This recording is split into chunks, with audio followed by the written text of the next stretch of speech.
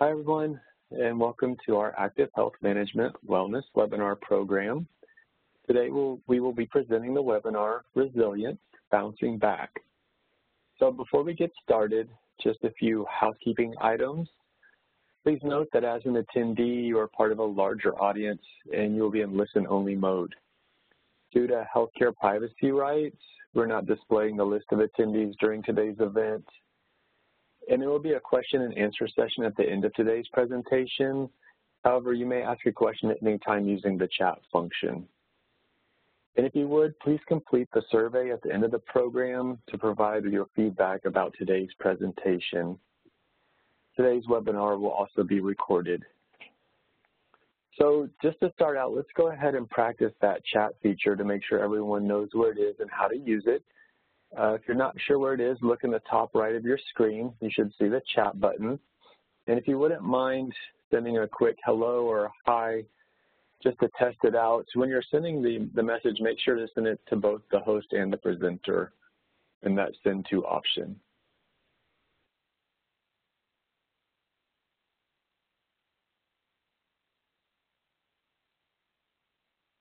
Excellent, seeing lots of highs there. So everyone's familiar with the chat function.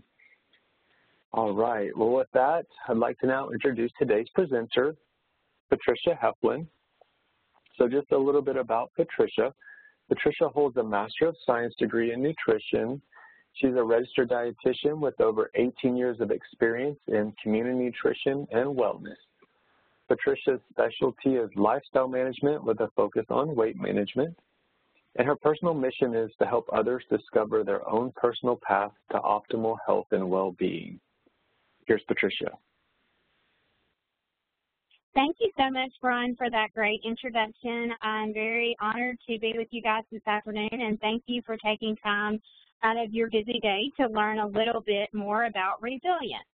As we get started, let's practice chat again with a question I have for you guys.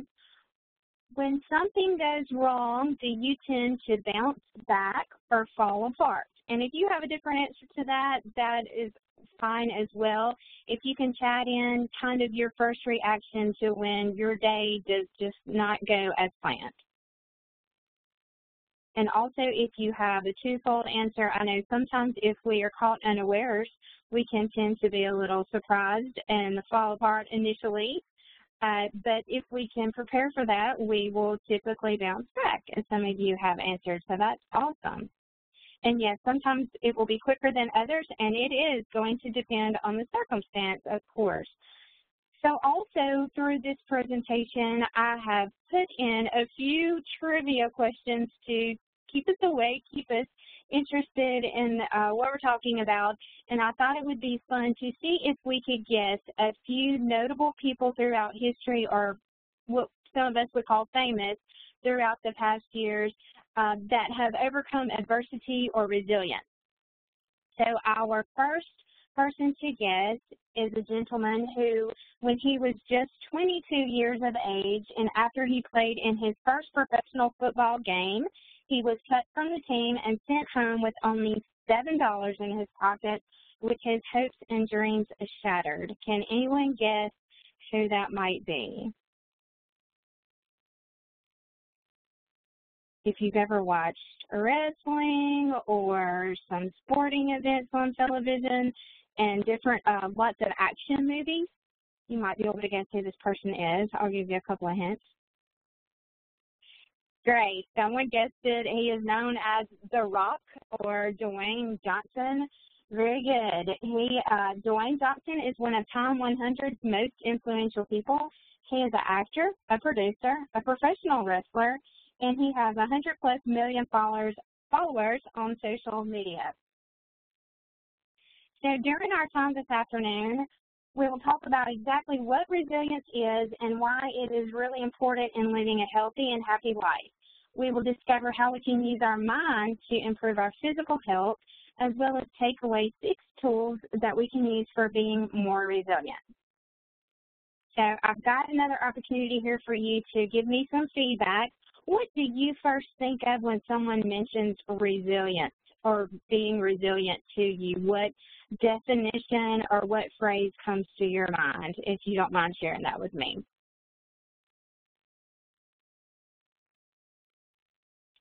Someone may say overcoming difficulties, getting back up, absolutely. Being tough, good answers. Well, we can describe it as being having that inner strength, as someone just also added in, that helps you bounce back after stressful situations. But the key is right here in the last part of the definition, without being overwhelmed or acting in a destructive way. So that is what we're going to work on today. We will have these setbacks, difficult changes. Maybe we just have a season of life that we're going through right now that's difficult. You may be facing with a um, unexpected illness. Uh, things just happen. Life happens, right? So hopefully we can um, learn how to develop these small steps to build our inner resilience skills so that when we do come through changes or difficult situations that we will know better how to plan ahead and act more appropriately and in a helpful way. And my favorite way to give you a visual of resilience is picture a toddler who has just learned to walk. If you've, you know, uh, seen a child that is in this stage, at first they start out pretty timid. They're going to start putting their toes down on the ground and then the rest of their foot. And then once they get that sure footing, they'll start moving and pulling up on objects and using anything they can hold on to to get around. But once they are completely mobile, you better watch out, right? Because they are on the go constantly and they pretty do not much do not let anything stand in their way. If they are after a toy or an object, their favorite snack for sure, and they are going to get going and achieve that goal and get to that destination. Well, when they take off at that almost breakneck speed for a toddler, what usually happens? They will probably fall down at some point. But typically, if you've ever watched a child in this stage, they may cry. Usually, if they're not hurt, though, they will jump right back up and just keep on going and get their eye back on the prize and get to that snack or whatever that toy might be. So that kind of shows us there that we are born with some of these innate skills for resiliency, but as we've grown older and we've become adults, we may have lost some of that inborn skill to bounce back, and we kind of have to develop these tools to teach ourselves to keep going or endure certain changes and difficult seasons throughout our lives. So I've got another um, little poll, so to speak, here, and there's five statements. All of these are great. There's nothing wrong with either one of these, but pick which one that you feel like you are strongest at and share that with us. Uh, usually we do have some skills with being resilient, but there might be one that we feel stronger at. It might be uh, able to learn valuable lessons from all experiences. So just chat in real quickly what you feel like that you are pretty good at right now.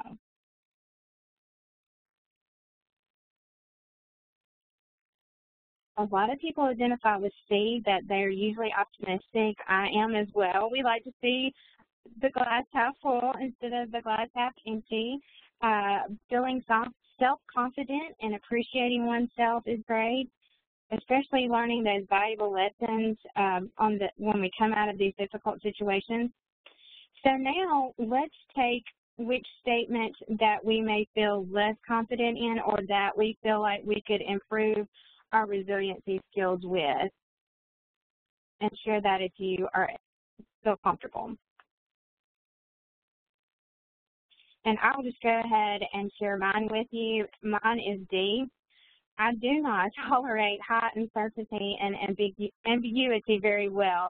I like to plan. Anyone that knows me knows that I have a, a huge paper planner that I carry around with me, especially for my work, and also to know where my kids are going to be and when, and I like to know what I'm going to have for dinner tonight, where I'm going on vacation this summer, and you know, through, I can plan throughout the whole year if I have all of the information. I really don't like not knowing what the outcome is going to be.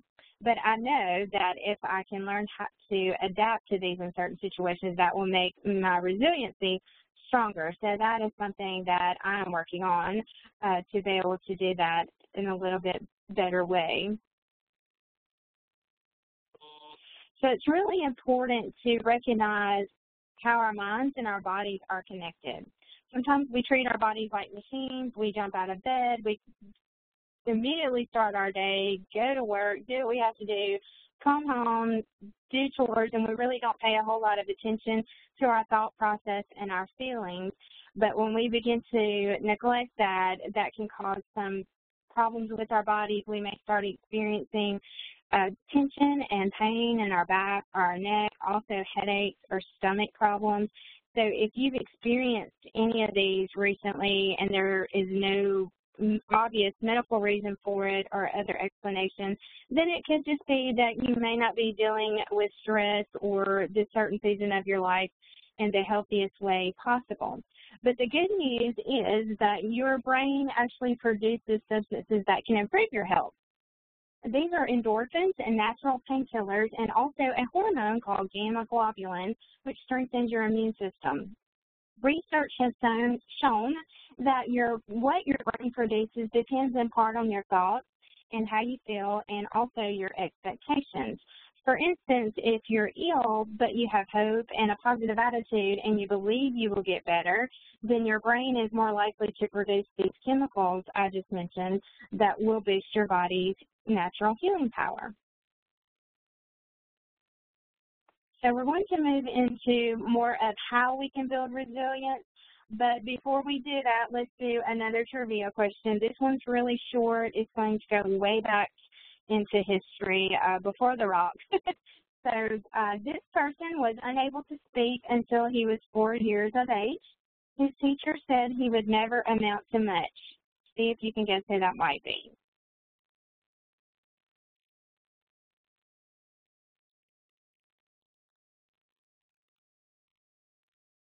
If you guessed Albert Einstein, you guessed correctly. Thomas Edison is a close second, probably both right in there, but it was Albert Einstein who was told, uh, whose parents were told that uh, when he was four, he couldn't speak, so he wouldn't have a very successful life.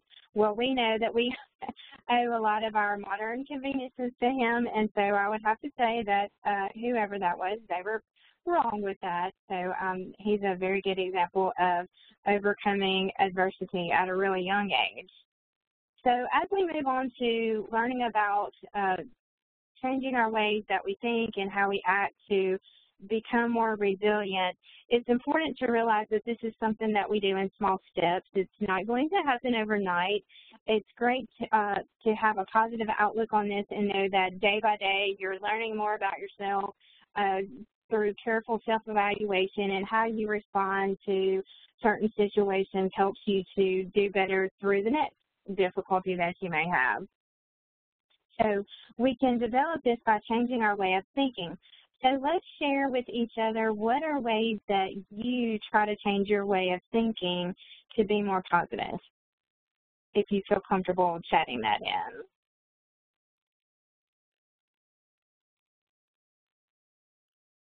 One suggestion is positive affirmations. That's just repeating a positive statement about yourself to yourself.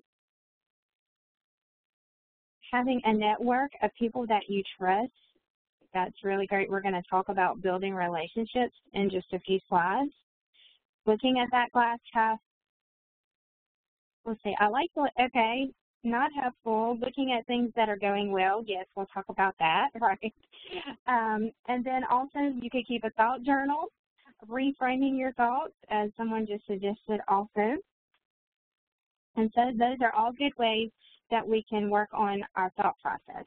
Next, what is something you can physically do to help build your resiliency? Uh, what would you say that could help you uh, change the way you act to be more positive? Does anybody have any suggestions?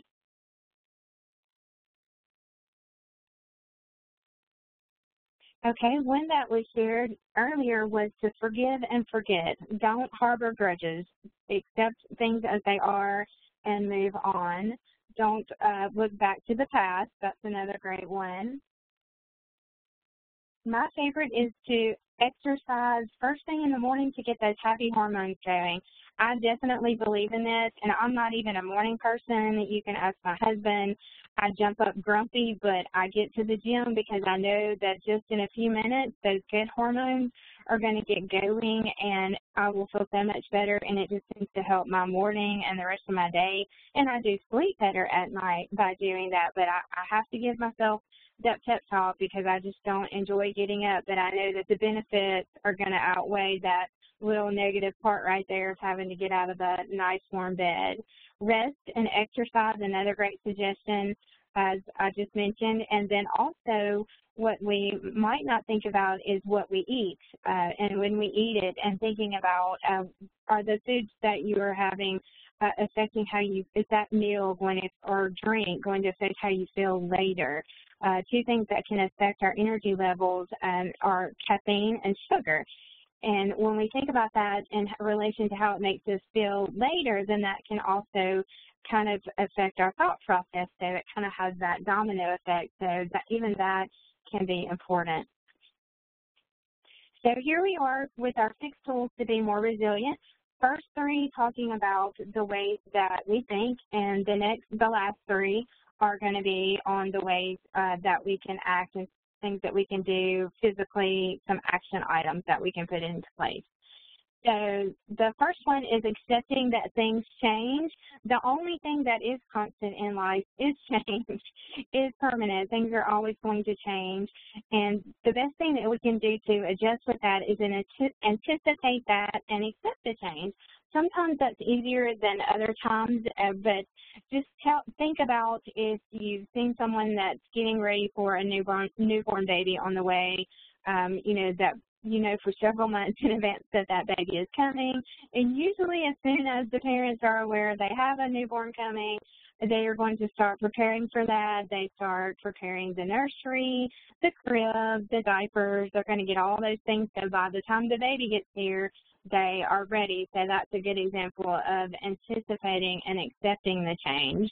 Um, a current change in my household right now is that I have a 14-year-old daughter who is starting to learn to drive because she will be 15 later this year. And um, my mama heart doesn't really want to accept that, but I know too that that is part of life. So we are doing our best as a family to anticipate that in a positive way and train her and help teach her the basics of driving and safe road skills. We are giving her the handbook to learn the real rules of the road and also um, have her signed up for driver's ed. So we're anticipating that change. There are other changes that we may not have so much um, time to anticipate to plan, like those types of events in our lives, but we can look at those as a challenge or an opportunity for growth rather than a threat. And I kind of think about in the workplace, um, we may have been doing this one work procedure the same way for 10 years and we're used to it with the way it's always been done. That's the way we feel like we should always do it. But in walks your supervisor with a new procedure. And it can kind of change things up I think we've all probably um, had to deal with that or a new computer, a new system, something new with our job, or maybe you've had been asked to take over someone else's role in addition to yours. And so sometimes we can feel a little threatened and need to step back and examine exactly how and why we feel that way. And I have kind of learned that that is a lot um, due in part to fear of the unknown. We don't know the outcome or again, there's that C word, the change, and a lot of us get really comfortable in our comfort zone, and it's hard for us to, to anticipate those changes. But the best thing that we can do as our last point here is to expect the best. When we are approached with change or we, go, or we are going through a difficult situation, a lot of times we can tend to focus on the negative. Oh, this form is going to take so much more time than the old form, or they have no idea all of the other job duties I have to complete along with this new job duty, that sort of thing, or I don't feel like I will ever complete this project. Instead of going down that road, let's flip that and think about all of the best outcomes. While this form is going to actually make me more productive in my job, I'm learning new skills skills at my job, so I may be able to apply for the next level for a promotion or whatever that might be, but just putting that visual in your head that instead of the negative things that could happen, always expect that best outcome.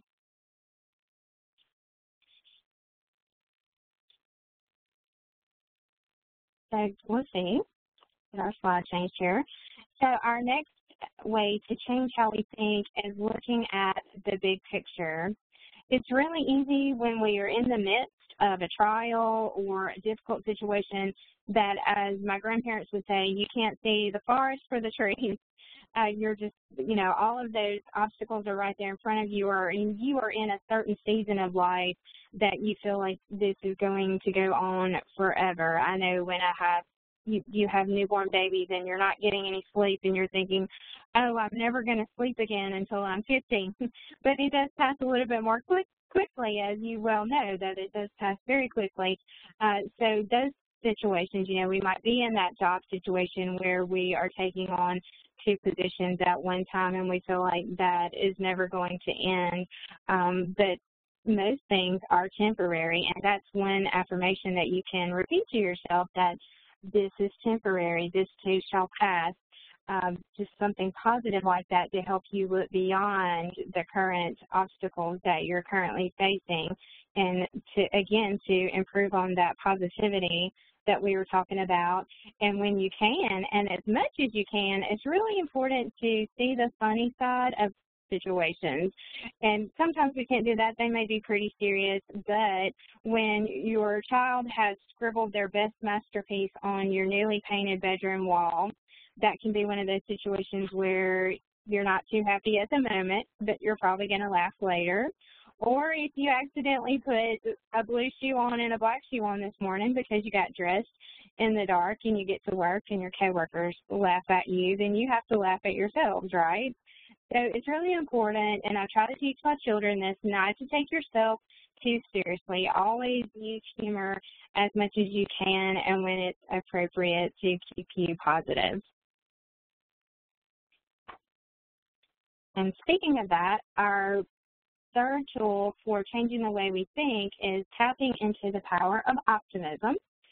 And so that gives us a good second to have a new trivia question and a new famous person.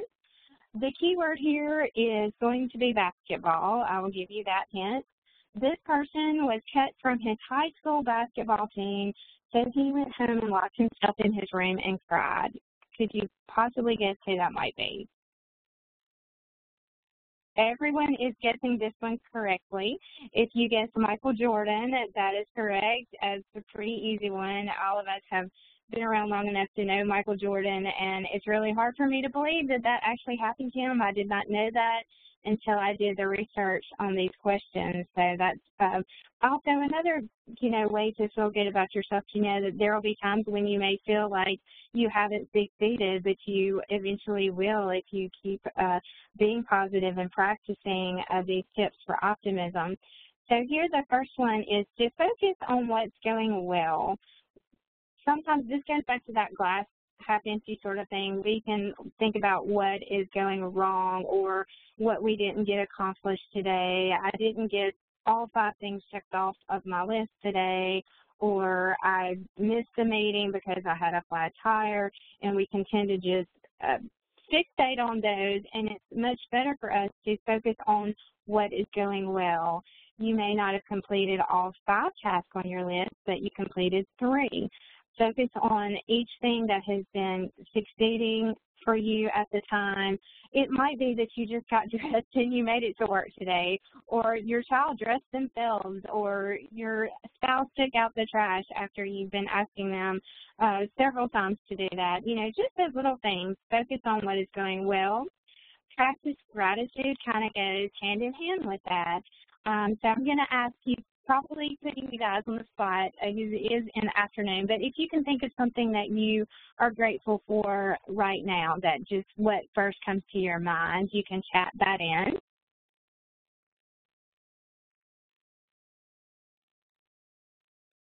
family, friends. And also, when you are thinking about this, grateful for life, that is really good.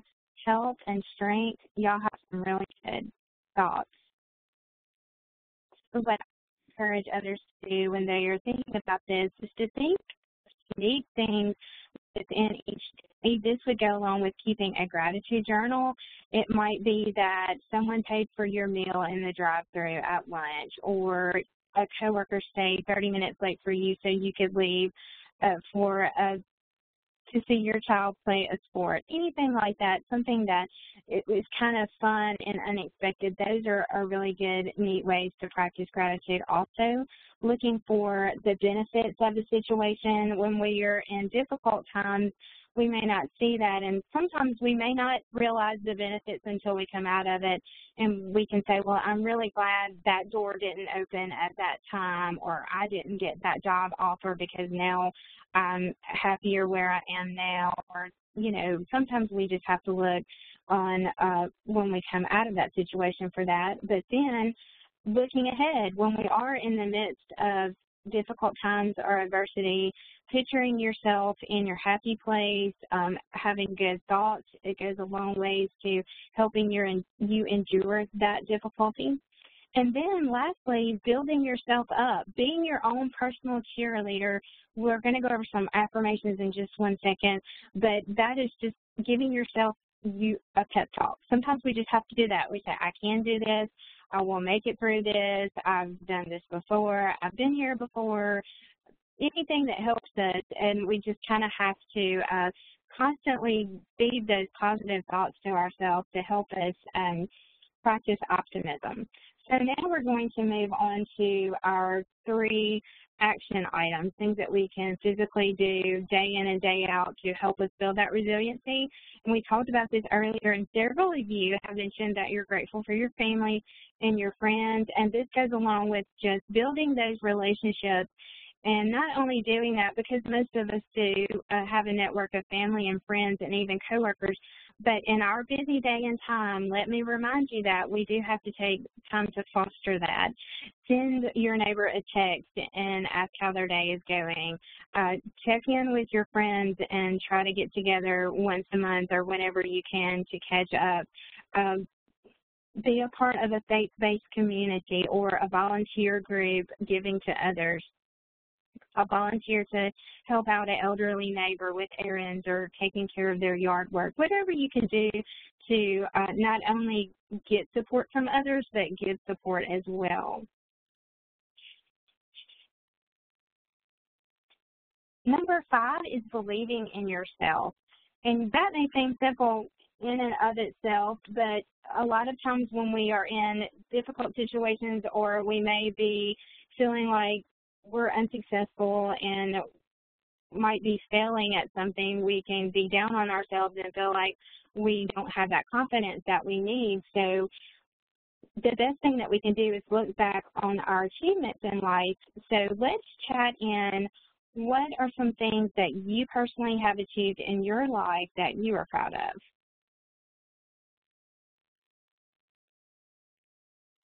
It could be something big, such as completing graduate school, earning an, an additional degree, your family, having children. Those are all great suggestions. So what we can do is look back over the timeline of our life to focus on those accomplishments accomplishments and the things that you have overcome, even the difficulties and adversities. I mean, I have several good friends that are breast cancer survivors and they are in good health now and they have come out on the other side of that. So um, anything like that that you have felt like that you have achieved over your life or maybe even just learning a new skill or a new hobby, learning to knit or to uh, play golf uh, whatever that might be that helps give you that personal satisfaction and build your self-confidence is really important to keep in mind when you're doing that. And then I mentioned that we would talk a little bit about self-affirmations, and this is a good time to think about different types. The affirmations can be about things that you have achieved, or your strengths, such as you're a great organizer or you are creative, you are a leader, and also things that you are proud of and things that make you feel good about yourself, like your hobbies or the things that you spend time on, maybe volunteering with a certain group in your community. But my main suggestion for this is when you are having one of those wonderful, feeling great about yourself days, jot these affirmations down because I can assure you when you're having a not so good for nothing terrible day, they're not going to come as readily to your mind. So if you have a little index card, just write down a few statements that help you feel better, that are positive for you. There are different things, you know, I always say this situation is temporary be present, not perfect. Um, we tell each other all the time, you've got this. So tell yourself, you've got this. You will get through this. You are strong. You are loved. Whatever those uh, that hit home best with you, write those down on a good day and keep those for the bad days. And so now we have our last tip for resiliency, but it's probably one of the most important, and that is self-care doing things that you enjoy and making time for that. We can probably all identify with some of these suggestions. Love to see a good movie, have a good time with friends, whatever that might be. But the key is to make it a priority. In some form or fashion, we are all caregivers. We may not have a family at home that we take care of day in and day out, but we may have a pet or we have parents or coworkers or what I always say, if you have a goldfish or a house plant, you're a caregiver. We and we tend to put ourselves last. Even sometimes at work, we do that. Um, and so it's good to schedule some time for yourself throughout the week. Think about your weekdays of where you can put in some mini sessions. It might be a 30-minute workout or 30 minutes to read a book but schedule that in and give yourself time to do that. Give yourself time to transition and rest when you get home from the workday before you go into your evening chores or tasks that you do after your workday is over. And just kind of identify whatever makes you feel happy and is important to you. And those other things that we don't do as often, such as scheduling that lunch date or going to the movies, don't put it off go ahead and make it what I call a non-negotiable and get your calendar out today and text that friend and say, hey, we're going to for lunch next Wednesday or what day is good for you and go ahead and get those on your schedule and that way not only do you have it in your time frame, but you can look forward to that and that will go towards your positive thinking. So we've got another trivia question. This is the music uh, arena. So um, going to think back a few years, back to, I'll give it away when I say this, but back to the 60s. Um, which famous music group was rejected by recording studios who said, we don't like their sound and they have no future in show business?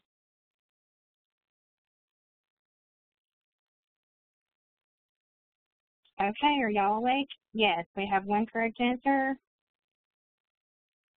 Awesome. Everybody has guessed correctly. If you thought about the Beatles, then that is correct. And I think we could all say that they definitely had a very successful career. Uh, so that's a great example as well. So I mentioned self-care, and deep breathing is a really good way to do this, and we're actually going to do this now. And along with deep breathing, we um, recommend guided imagery. You can even have an actual physical picture of your happy place in front of you to practice this on routine. Of course, we all don't have one right now, so I want you to close your eyes and picture your happy place. It may be the beach with the waves rolling in and the sun shining and a slight breeze blowing and no other distractions and you're just resting it could be your back porch uh, where you like to watch nature and the children play, or it could be a mountain scene, whatever your happy place is. It could be your bed, whatever's comfortable for you, or relaxing, or easy chair. Just think about that in your mind. And if you feel comfortable, close your eyes and then place one hand on your chest and one hand on your belly. And that what that will do is help you focus on your breath We want to breathe in so deeply that you can feel your diaphragm expand just uh, right where the top of your rib cage is. As you breathe in deeply, your hand should come out just slightly from your body. And also, as you breathe in the air through your lungs, you should also feel your hand on your chest move just very slightly. So now let's breathe in deeply through our nose and feel your lungs fill with air and then your belly. And hold that for just a couple of seconds and then slowly exhale as you picture your happy place, a quiet backyard, or a soothing beach scene. Breathe in deeply again through your nose and hold that breath. And then slowly exhale. And your shoulders should feel less tight and you should feel less tension in your neck. You should start to feel calmer. And then one more time, breathe in deeply through your nose, that cleansing breath, and then slowly exhale. So I like to call these little mini Zen moments where you can just tune out the world for just a couple of minutes. You can do this just about anywhere. I do say that you can do this in the car, but don't close your eyes if you're driving. But if you're sitting in traffic at the red light, certainly you can practice your breath, but eyes wide open, of course, in front of you. And then, you know, anytime at work or also recommend when you start your day and also when you end your day, it's just a really good way to practice self-care and get you back into the moment and reduce stress.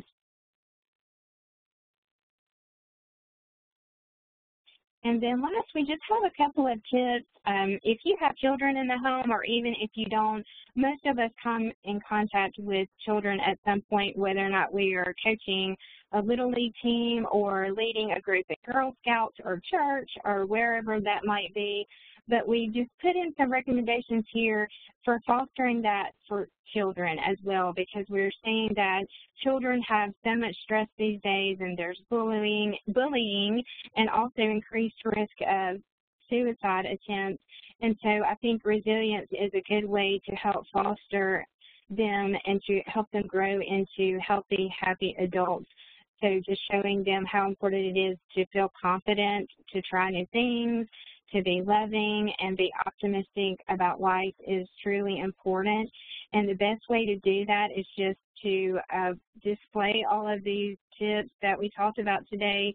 And as you become more resilient, they will see you as a role model. If you are calm, slow to anger, show love and affection to them, and help them feel safe, then that will also build their resilience as well. So that concludes our session today. I hope that we've given you some ways that you'll be able to use in your own journey to resilience. It is a journey. It's not going to happen overnight. I recommend that you think of it as a muscle that will start small, but you're going to just strengthen it um, day by day and over time. And these six ways of changing how we think and how we act will help us to get on the right track. The key is to just identify what works best for you. Keeping a gratitude journal may not work best for someone, but it will for someone else as well, the positive affirmations and so forth. And one of a quote that I found as I was preparing for this on resilience is to remember that life is not about how fast you run or how high you climb, but how well you bounce back. So to end, I have one final question for you. This person was fired from a newspaper job for lacking imagination. Imagination is your key hint. And no ideas. Who was he? Let's see if we can get 100% correct answers on this one. Close, but not quite. Uh, we've got a correct answer. Ding, ding. It was Walt Disney. So um, if you've been to Disneyland or Disney World or even seen a Disney show, then you know that whoever said that was completely wrong. So I just wanted to leave that last one with you. Don't forget that we have our website, myactivehealth.com. If you would like more tips on mindfulness or deep breathing or resiliency, you can find all of that here. And then we have our upcoming wellness webinar um, on May the 21st. Just note that if you're in the Central Time Zone, it would, of course, be the hour earlier. And the topic is Make Your Workplace Work for You, all about uh, how to fit in health and wellness and incorporate that into your daily routine at work. And we thank you so much for your time today, spending that with us. And if you have any questions, feel free to email those to activewellness at activehealth.net. And also, if you attended in a group, please send the list of attendees to activewellness at activehealth.net. And with that, I will turn it over to Brian to see if we have had any questions come in during the presentation. Thank you very much, Patricia. Yeah, that was excellent. Uh, yeah, if, if you do have a question, just a reminder, uh, go ahead and use that chat function and select the presenter and host when you're sending in the question. And we have actually received a, a, question in the chat, so I'll go ahead and read that aloud so everyone can hear. Uh, what are some healthy eating habits that we should practice to help manage stress? That's a good question. I did mention that just very briefly earlier. We could spend a lot of time on that. But two things, as I mentioned before, decreasing caffeine intake and sugar intake is key. Caffeine can just exacerbate anxiety, help us feel more, or cause us rather, not help us, to feel more jittery. So that, you know, would not promote restfulness or help us reduce our stress and, and also will prevent us from getting adequate sleep. And also the sugar, we might grab a candy bar or soda to get that quick sugar lift in the afternoon, but it might feel as temporarily uh, help us feel a little bit of energy, but later we're just going to crash as that kind of goes away out of our bodies the best thing to do is drink as much water as we can. Um, so many benefits for our body to stay hydrated, helps us to have more energy and feel rested, as well as including a wide variety of fruits and vegetables and whole grains and lean protein. Perfect. Um, there is another question that came through. Uh, does physical activity help to relieve stress? Absolutely. There, if anybody does uh, exercise on a regular basis, you can probably agree with that.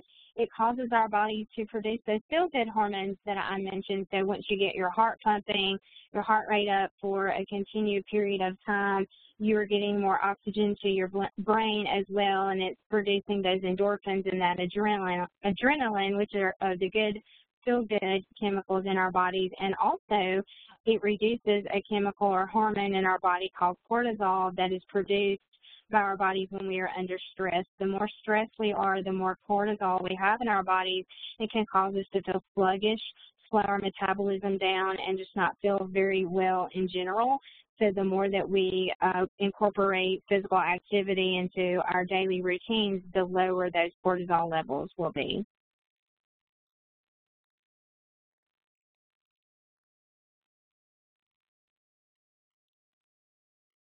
Excellent. Doesn't look like there's any more questions in the queue, and we've reached the end of uh, the webinar time today. So I wanted to thank you all again for participating in this wellness webinar program. Please remember to complete the survey, which will appear on your screen at the end of the program. And if you do have further questions, you can email us at activewellness at activehealth.net. And we look forward to having you join our next webinar on May 21st. Thanks again.